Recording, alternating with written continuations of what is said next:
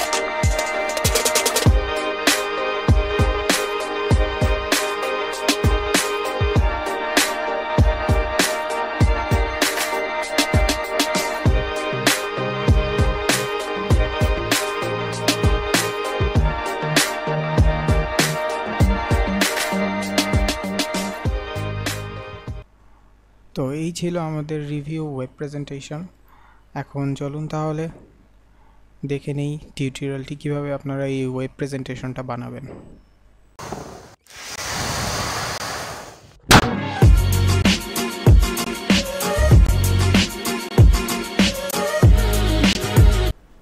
তো প্রথমেই আমরা জেপিজি ফাইল দুটো ইম্পোর্ট করব। জেপিজি ফাইল সম্পর্কে আমি কিছু বলতে চাই, প্রথমটা হচ্ছে গ্রেডিয়েন্ট ওয়ালপেপার যেটা আপনারা গুগল থেকে খুব সহজেই ডাউনলোড করে নিতে পারেন। শুধু গুগলে যে গ্রেডিয়েন্ট ব্যাকগ্রাউন্ড লিখলে আপনারা অনেক ধরনের গ্রেডিয়েন্ট ওয়ালপেপার বা গ্রেডিয়েন্ট ব্যাকগ্রাউন্ড পেয়ে যাবেন। সেখান থেকে আপনারা ডাউনলোড করে এখানে আনতে পারেন। আর একটা হচ্ছে ওয়েবসাইট জেপিজি ফরম্যাট যেটা আমার ওয়েব পেজ ওটার স্ক্রিনশট নিয়ে আমি এটা জেপিজি ফরম্যাটে বানিয়েছি। সো এই দুইটা জেপিজি ফাইল আমরা এখানে ইম্পোর্ট করলাম। এখন আমরা কি করব? একটা নতুন, একটা কম্পোজিশন বানাবো। কম্পোজিশনটার নাম দিব মেইন হোয়াইট দিব নাইনটিন টোয়েন্টি হাইট দিব thousand eighty frame rate thirty frame per seconds and duration thirty seconds okay এখন আমরা কি করব? এই ওয়েব পেজের জেপিজি ফরম্যাটটাকে ধরে এই কম্পোজিশন বারে ছেড়ে দিব। তাহলে কি হবে? তাহলে এই ওয়েব পেজের সাইজ অনুযায়ী একটা কম্পোজিশন ক্রিয়েট হয়ে যাবে। দেখুন আপনারা পিছে একটা কম্পোজিশন ক্রিয়েট হয়ে গিয়েছে। সো এখন আমরা এই ওয়েব পেজটাকে অ্যানিমেট করব। এই ওয়েব পেজটাকে অ্যানিমেট করার জন্য আমাদের কি করতে হবে? এটাতে ক্লিক করতে হবে একটা। করে আমরা কম্পোজিশন সেটিংসে যেয়ে হাইটটাকে কমিয়ে দিব। হাইটটা এখানে আছে এইট হান্ড্রেড নাইনটি নাইন আমরা এটাকে বানিয়ে দিব four hundred fifty okay so এরকম লুকস আসবে দেখতে। এখন আমরা কি করব? এটাকে ঠিকভাবে সেট করে নিব। কম্পোজিশনটা ছোট হয়ে গিয়েছে, কিন্তু ওয়েব পেজের সাইজটা ঠিকই আছে। সো এটা আমাদের সুবিধা কী হবে? এটা কম্পোজিশনের সাইজটা যদি আমরা ছোট করে নিই, তাহলে আমাদের অ্যানিমেট করতে সহজ হবে জিনিসটা। সো চলুন আমরা অ্যানিমেশন করি, তারপর দেখি কি হয়। এটাকে সিলেক্ট করব। পি বাটনে প্রেস করলে পজিশনটা চলে আসবে। তারপর আমরা এখানে একটা কি ফ্রেম অ্যাড করব। তারপর আমাকে ফলো করুন, আমি কীভাবে অ্যানিমেশন করি।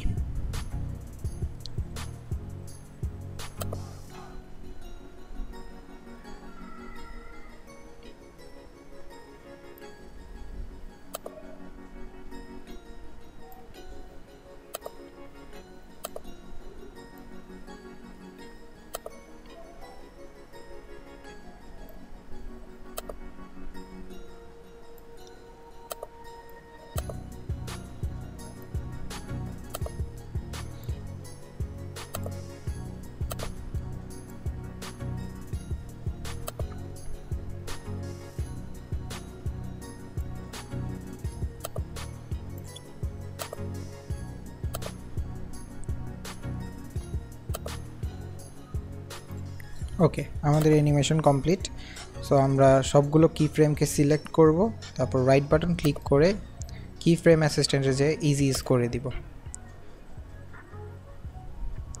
দেন আমরা একটু দেখব অ্যানিমেশনটা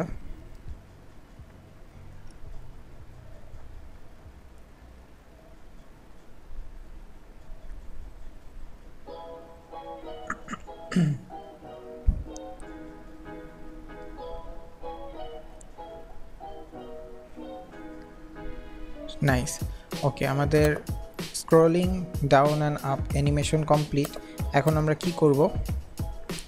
এই ওয়েবসাইট কম্পোজিশনটাকে ধরে মেইন কম্পোজিশনে এনে ছেড়ে দিব। এখন ব্যাকগ্রাউন্ড ব্যাকগ্রাউন্ডটা ব্ল্যাক আছে, তাই আমরা যে গ্রেডিয়েন্ট ব্যাকগ্রাউন্ডটা আমরা গুগল থেকে ডাউনলোড করেছি, সেটা আমরা এনে ধরে এখানে মেইন কম্পোজিশনে ছেড়ে দিব। ছেড়ে দিলে ব্যাকগ্রাউন্ড আমাদের রেডি আপনারা নিজেদের মতো করে কাস্টমাইজ করে আফটার ইফেক্টেও ব্যাকগ্রাউন্ড বানাতে পারেন, কিন্তু সেটা সময় সাপেক্ষের ব্যাপার। সেজন্য আমি এটা বানিয়ে দেখালাম না ডাইরেক্টলি ডাউনলোড করে দেখালাম। ওকে তো আমরা এখন কি করব? এটাকে সিলেক্ট করে কম্পোজিশনটাকে সিলেক্ট করে এটাকে এস বাটনে ক্লিক করলে স্কেল অপশনটা আসবে। এখান থেকে আমরা একটু সাইজটা বড় করে নিব ওয়েব পেজের আপনাদের সুবিধা অনুযায়ী সাইজটা বড় করে নেবেন। ওকে। এখন আমরা কি করব? এটা থ্রি বানিয়ে দিব। সো টুগল সুইচে ক্লিক করবেন থ্রি অপশন চলে আসবে। থ্রি বানিয়ে দিলাম। ওকে, এখন আমরা আর বাটনে প্রেস করলে সকল রোটেশন অপশনটা চলে আসবে। তো আপনারা, আপনাদের মতো রোটেশন করতে পারেন ওয়েব পেজটাকে বা আমাকেও ফলো করতে পারেন। X rotation minus twenty Y rotation minus thirty Z rotation minus seventeen হ্যাঁ নাইস সো আমরা এটা রোটেট করে দিলাম। এখন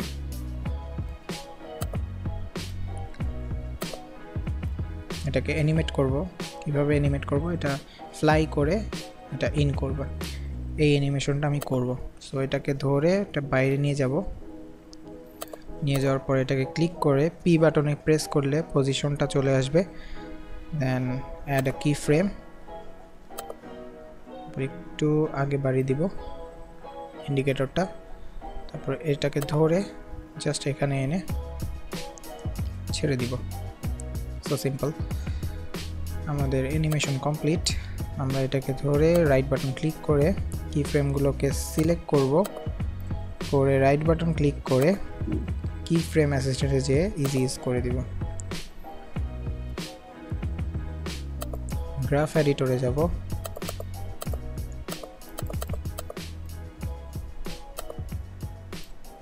গ্রাফটাকে এডিট করে দিব ওকে তো আমাদের animation is ready okay so আমরা এখন অ্যানিমেশন বানিয়েছি। এখন এটাকে কি করব? এটার উপর একটা ইফেক্ট দিব। ইফেক্টটা হচ্ছে শ্যাডো ইফেক্ট শ্যাডো ইফেক্ট দিব আমরা কীভাবে? ইফেক্ট অ্যান্ড প্রিসেটে যাব। এখানে লিখব ড্রপ শ্যাডো ড্রপ শ্যাডো চলে আসার পর এটাকে ধরে এনে এই কম্পোজিশনে ছেড়ে দিব। তারপর শ্যাডোর ডিস্টেন্সটা আপনাদের সুবিধা অনুযায়ী আপনারা দিবেন এবং সফটনেসটাও আপনাদের সুবিধা অনুযায়ী আপনারা দিবেন। বা আমারটা আপনারা ফলো করতে পারেন। ওকে এই পাশ আর এই নিচের সাইডটা শ্যাডো হয়েছে। এখন আমাদের ব্যাকগ্রাউন্ডে শ্যাডোটা দিতে হবে। তাহলে কি করব? এটা সিলেক্ট করে জাস্ট কন্ট্রোল ডি চাপ দিব, তাহলে কপি হয়ে যাবে।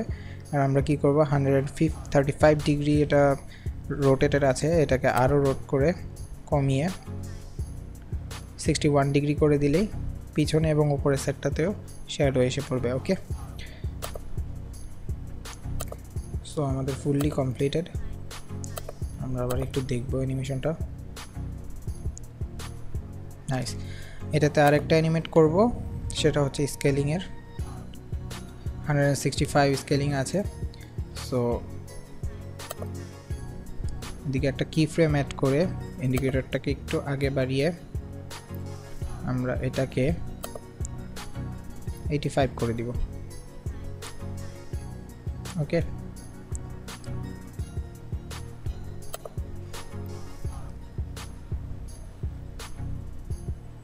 ওকে আমরা ওয়েব পেজটাকে স্কেলিং করে আমরা হান্ড্রেড সেভেন্টি ফোর করে দিলাম, যাতে আস্তে আস্তে জুম ইন হতে থাকে। তো এটা করার পর এখন আমরা কি করব? এখন আমরা টেক্সট নিব। টেক্সট নেওয়ার জন্য টেক্সট টুলটাকে সিলেক্ট করে এখানে টেক্সট লিখব। টেক্সট লেখার আগে এখানে একটু হাইটটা বাড়িয়ে নিব। অ্যারাউন্ড নাইনটি আর eighty five eighty four okay website presentation okay so আমরা এখন এই ওয়েবসাইট প্রেজেন্টেশন টেক্সটটাকে অ্যানিমেট করব। অ্যানিমেট করার জন্য পি বাটনে প্রেস করে পজিশনটা নিয়ে আসব। পজিশনটা নিয়ে আসার পর ইন্ডিকেটরটাকে ফার্স্টে নিয়ে যাব। অ্যানিমেশনটা আসার সাথে সাথে আমাদের ওয়েবসাইট প্রেজেন্টেশন টেক্সটটা চলে আসবে। সো আমরা টেক্সটটাকে জাস্ট এখানে নিয়ে আসব। দেন একটা পজিশন কি ফ্রেম অ্যাড করব। তারপর ইন্ডিকেটরটা একটু আগে বাড়বো। তারপর টেক্সটটাকে ধরে রাইট দিকে আমরা একটু টেনে দিব আমাদের অ্যানিমেশন কমপ্লিট ওকে সো এটাকে সিলেক্ট করে, দুইটা কি ফ্রেমকে সিলেক্ট করে রাইট বাটন ক্লিক করে কি ফ্রেমে যে ইজি ইজ করে দিব। ওকে আবার রাইট বাটন ক্লিক করে আবার কি ফ্রেম অ্যাসিস্ট্যান্টে যেয়ে ইজি ইজ করব আবার। দেন গ্রাফ এডিটে যেয়ে গ্রাফটাকে এভাবে এডিট করে দিব। ওকে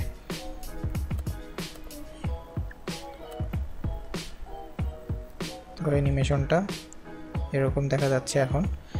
আমরা এখন ওয়েবসাইট প্রেজেন্টেশন লেখাটাকে ইনভিজিবল করব, যার জন্য আমাদের একটা শেপ নিতে হবে এবং শেপটাকে লেখাটার উপরে জাস্ট ড্র করে দিব।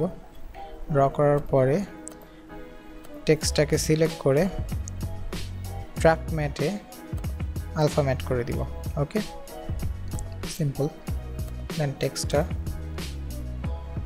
এইভাবে আসবে ওকে আমাদের টেক্সটের কাজ শেষ। এখন আরেকটা টেক্সট নিব, সেটার কাজ করব। সো আরেকটা টেক্সট নেওয়ার সময় এই টেক্সটটাকে আপনারা খেয়াল রাখতে হবে? এই টেক্সটটা আসবে, আসার পরপরই আরেকটা টেক্সট এসে পড়বে, সাথে সাথে তো আরেকটা টেক্সটের জন্য আমরা টেক্সট টুলটাকে সিলেক্ট করব এবং সাইজটাকে কমিয়ে দিব around twenty five or twenty three something twenty five লিখব the best way to represent your website. Okay. Zoom in করে নিই একটু। আরেকটু বড় করে দিই টেক্সটটা now fine thirty four size okay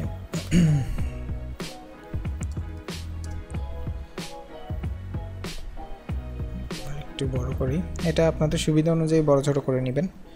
বোল্টটা regular করে দিই ওকে সো এখন এই টেক্সটটাকে আমরা অ্যানিমেট করব। অ্যানিমেট করার জন্য আমরা ইউজুয়ালি পি বাটনে প্রেস করব পজিশনটা নিয়ে আসব। দেন আমরা টেক্সটটাকে একটু নিচে নামিয়ে নিব। অ্যাড করব একটা কি ফ্রেম ইন্ডিকেটরটা একটু আগে বাড়াবো এবং এটাকে ধরে একটু উপরে উঠিয়ে দিব। সিম্পল ফিনিশড আমাদের অ্যানিমেশনের কাজ। সো দুইটা কি ফ্রেমকে আমরা সিলেক্ট করব রাইট বাটন ক্লিক করব কি ফ্রেম অ্যাসিস্ট্যান্টে যাব এবং ইজি ইজ করে দিব। গ্রাফ এডিটরে যাবেন, যাওয়ার পরে গ্রাফটাকে ঠিক এভাবে এডিট করবেন জাস্ট লাইক সো এডিট করার পর আমরা এখন দেখব অ্যানিমেশনটা লেখাটা আসলো এবং এটা উপরে উঠল। সো এটাও যে উপরে উঠল, এইটাকেও আমাদের হাইড করতে হবে। হাইড করতে হলে কি করব আমরা? থেকে একটা শেপ লেয়ার নিব দেন এটার উপরে ড্র করে দিব। তারপর এই টেক্সটটাকে সিলেক্ট করে আমরা ট্র্যাক ম্যাটে যেয়ে আলফা ম্যাট করে দিব। তারপর আমরা এখন ফুললি দেখব। নাইস সো আমাদের টোটাল অ্যানিমেশনই কমপ্লিট সো এই ছিল আমার অ্যানিমেশন আপনাদের যদি ভালো লেগে থাকে ভিডিওটি, তাহলে অবশ্যই লাইক বাটনে প্রেস করবেন এবং সাবস্ক্রাইব করতে ভুলবেন না। এবং সাবস্ক্রাইব করার পর বেল আইকনে অবশ্যই চাপ দিবেন, যাতে আমার পরবর্তী ভিডিওগুলো আপনাদের কাছে সহজেই নোটিফিকেশনের মাধ্যমে পৌঁছে যায়। আল্লাহ হাফেজ।